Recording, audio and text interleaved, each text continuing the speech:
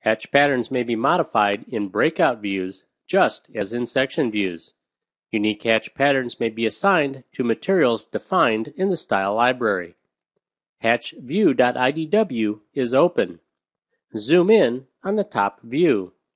Create a From Point breakout view in the top view. Select the top view, then select Create Sketch from the Sketch panel. Create a closed spline approximately cutting the top view in half.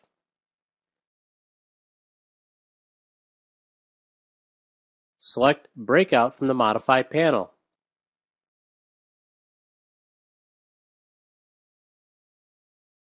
Select the top view.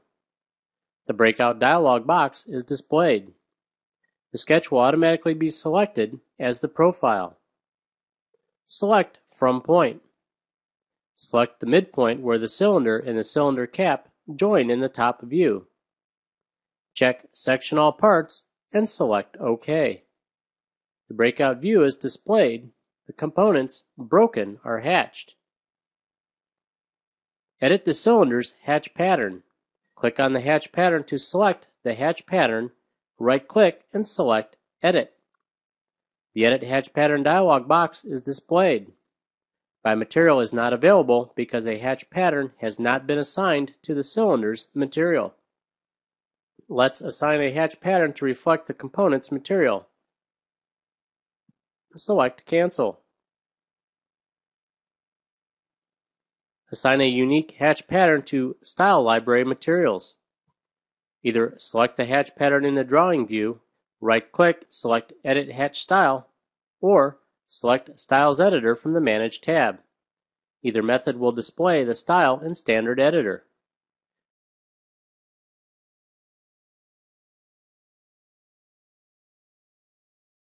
Select the plus sign next to the standard in the browser. Select Default Standard ANSI Millimeter.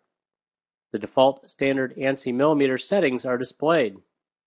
Select the Material Hatch Pattern Defaults tab. Verify that Filter Styles is set to Local Styles.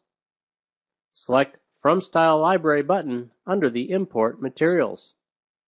All of the materials in the Style Library are displayed with their assigned hatch pattern. ANSI 31 is cast iron's ANSI assigned hatch pattern. Change the hatch pattern for steel mild to ANSI 32.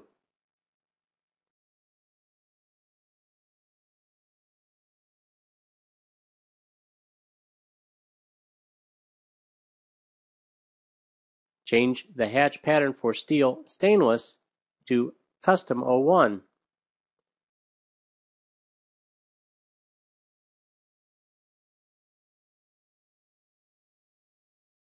Select Save. If you have write access to the style library and want to add this to the style library, right-click on the default standard ANSI millimeter and select Save to Style Library to make this global change. Select Done. Change all the hatch patterns to display by material type. Select all the hatch patterns. Use the Control key to select multiple patterns. Right-click, hover the cursor over Pattern. The flyout menu will display and select by material. The hatch patterns update to display by the material type assigned in the style library. This completes the lesson. Do not save the file.